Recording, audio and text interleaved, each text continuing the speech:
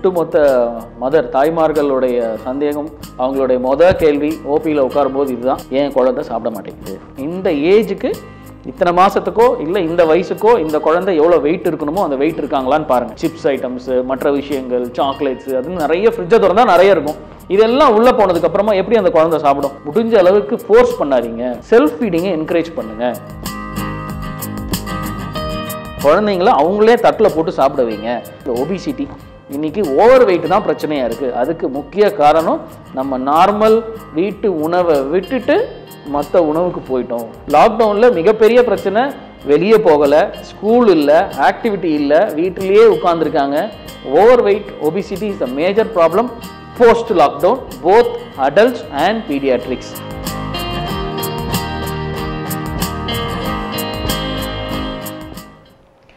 hello வணக்கம். நான் உங்க சங்கீதா குமுதம் டிஜிட்டல் மீடியாக்காக டாக்டர் ஷோஸ் ரெகுலரா நம்ம பார்த்துட்டு இருக்கோம் அந்த வரிசையில இன்னைக்கு நம்ம பார்க்க போறது ருத்ரன் மல்டி ஸ்பெஷாலிட்டி ஹாஸ்பிட்டலோட சேர்மன் டாக்டர் சதீஷ் பாபு அவர்கள்.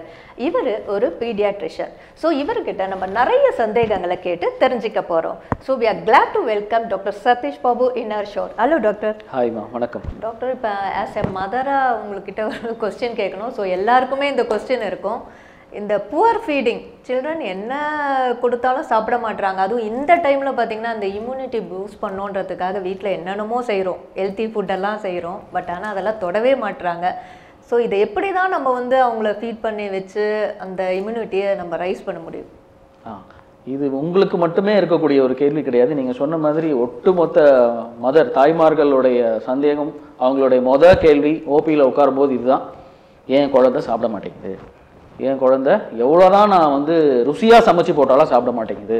இது வந்து பிறந்த குழந்தையிலேருந்து பதினஞ்சு பதினாறு வயசு வரைக்கும் இது இந்த கம்ப்ளைண்ட்ஸை வந்து மதர்ஸ் பண்ணிட்டு தான் இருக்காங்க. ஸோ இதுக்கு ஒரு கவர் ஆன்சராக கொடுக்க முடியாது. கொஞ்சம் டீட்டெயிலாக சொல்லணும்னா நியூபார்ன் பேபிஸ்லேருந்தே எடுத்துக்குவோமே. பா சரியாக பால் குடிக்க மாட்டேங்குது சார்னா நிறைய காரணங்கள் இருக்கும். அந்த பாப்பா வந்து மருத்துவ காரணங்கள் உடல் நல குறைபாடுனால சாப்பிடலையா? இல்லை வேற ஏதாவது காரணத்தினால சாப்பிடலையான்னு பார்க்கணும். நம்ம மக்கள் நம்ம மதர்ஸ் இருக்காங்க. இன்னைக்கு வந்து முன்னெல்லாம் வந்து நாலஞ்சு குழந்தைங்க இருந்தாங்க. அதனால அவங்களுக்கு ஃபீட் பண்ணுறதுக்குலாம் பெருசாக நேரம்லாம் இருந்திருக்காது. ஸோ அப்போல்லாம் அவைலபிலிட்டி ஆஃப் ஃபுட்டே ரொம்ப கம்மி. இப்போ அப்படி கிடையாது. எத்தனை மதர் முதல்ல பசிக்க விடுறீங்க குழந்தைக்கு? கிடையாது. பசிக்கவே அலோவ் பண்றது இல்ல, கிடையாது. அப்படி விட்டா கூட பசியே இல்லைன்னு பசிக்கவே நம்ம நாள் பண்றது கிடையாது. பசி இல்ல பசி இல்ல பசி இல்லன்னு பசிக்கவே அலோவ் பண்றது கிடையாது. வயத்தை எனக்கு பார்க்குறேன். நான் பார்த்த மதரும் சரி கிராண்ட் பேரண்ட்ஸும் இருக்கக்கூடிய வீடு தான் இப்போ நிறைய. வயத்தை பார்ப்பாங்க. உடனே வந்து பால் கொடுத்துருவாங்க. பசிச்சா தானே அந்த குழந்தை அழும். அப்புறம் தானே முதல்ல வெயிட் செக் பண்ணும். ரொம்ப உங்களுக்கு ரொம்ப ஒரு கவர் ஸ்டேட்மெண்ட்டாக கொடுக்கணும்னா வெயிட் பார்க்கணும். இந்த ஏஜுக்கு இத்தனை மாதத்துக்கோ இல்லை இந்த வயசுக்கோ இந்த குழந்தை எவ்வளோ வெயிட் இருக்கணுமோ அந்த வெயிட் இருக்காங்களான்னு பாருங்கள் நீங்களே கூட பார்த்துக்கலாம். இல்லை உங்கள் மருத்துவர் அணுகி கூட பார்க்கலாம். வெயிட் கரெக்டாக இருந்தாங்களா? இந்த புவர் ஃபீடிங்கை பற்றி பெருசாக ஒன்றும் கவலைப்பட வேண்டாம். தட் மீன்ஸ் அந்த குழந்தைக்கு தேவையான ஆகாரம் கிடைக்குது. ஆகாரமே கிடைக்காது. எப்படி வெயிட் போடும் ஒரு குழந்தை? போடுறதுக்கு வாய்ப்பே இல்லை. ஸோ வெயிட் நல்லா இருக்காங்களா அந்த குழந்தை? அந்த ஏஜுக்குரியது இருக்கா? ஸோ அப்படின்னா பெருசாக பயப்படும் அங்கேயே ஒரு ஸ்டெப் நம்ம வந்து பயம் நம்ம வந்து தள்ளி அடிச்சிடலாம். அதுக்கப்புறமா வந்து என்ன மாதிரி ஃபுட்டு கொடுக்குறோன்னு பார்க்கணும். இன்னைக்கு ஜங்க் ஃபுட்ஸ் கலாச்சாரம் நிறைய ஆயிடுச்சு.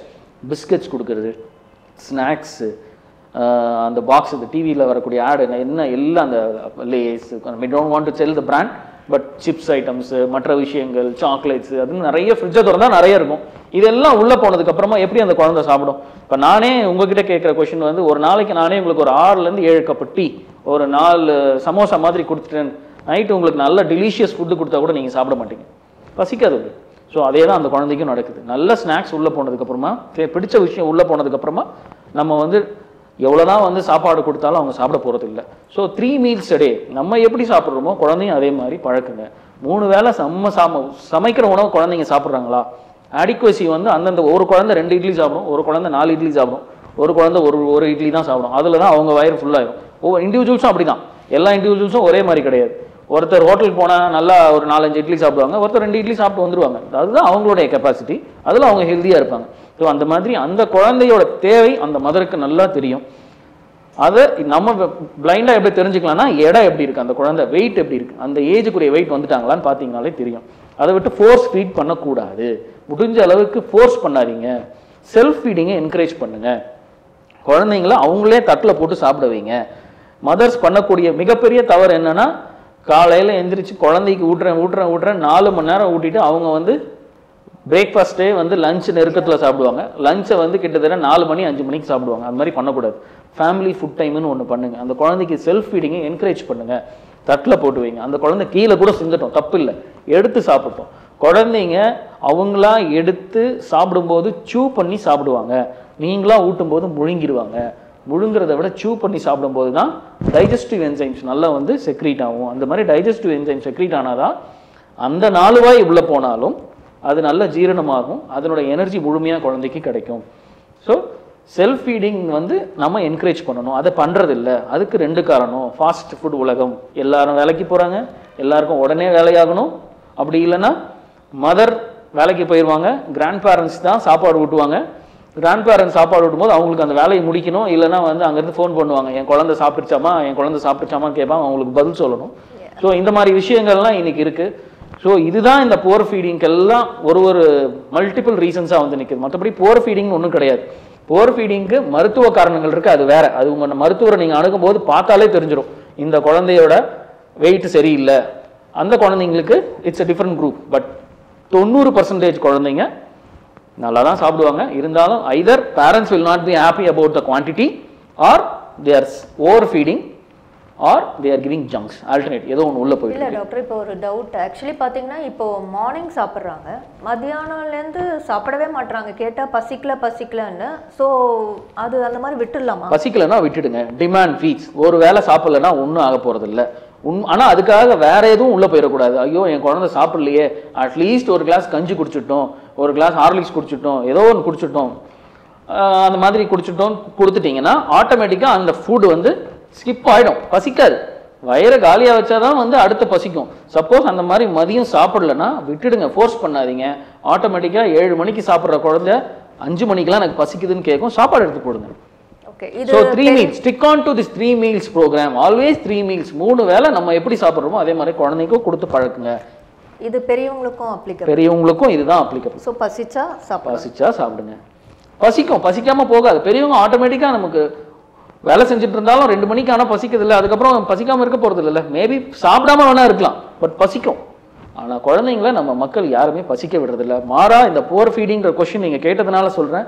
இன்னைக்கு வந்து under nutrition under weight child இல்லாம முன்னாடிலாம் அப்படிதான் நிறைய குழந்தைங்க பார்த்துட்டு இருந்தோம். இன்னைக்கு நாங்க பார்க்கறது ஓவர் வெயிட் சைல்டு ஒபிசிட்டி தான் இன்னைக்கு மிகப்பெரிய ப்ராப்ளமாக வந்து நிற்குது எல்லாருக்குமே. அது பீடியாட்ரிஷனாக இருந்தாலும் சரி மற்ற டாக்டர்ஸ்க்குமே இந்த ஒபிசிட்டி இன்னைக்கு ஓவர் வெயிட் தான் பிரச்சனையாக இருக்குது அதுக்கு முக்கிய காரணம் நம்ம நார்மல் வீட்டு உணவை விட்டுட்டு மற்ற உணவுக்கு போயிட்டோம்.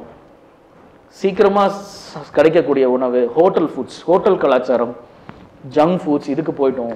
ஹை சுகர் கண்டெய்னிங் ஃபுட் இது போனதுனால தான் இன்னைக்கு ஒபிசிட்டி இந்த மாதிரி குழந்தைங்க ஒபிசிட்டியா இருக்காங்களே டாக்டர் அது குழந்தைங்க ஒபிசிட்டி பத்தி தான் இப்போ நான் சொல்றேன். மெயினா குழந்தைங்க தான் இன்னைக்கு ஒபிசிட்டி அதுவும் இந்த லாக்டவுன்ல நீங்க அப்போ ம், நீங்க கேட்ட கேள்விகளுக்கு லாக்டவுன்ல மிகப்பெரிய பிரச்சனை வெளியே போகல ஸ்கூல் இல்ல ஆக்டிவிட்டி இல்ல வீட்டிலேயே உட்கார்ந்துருக்காங்க.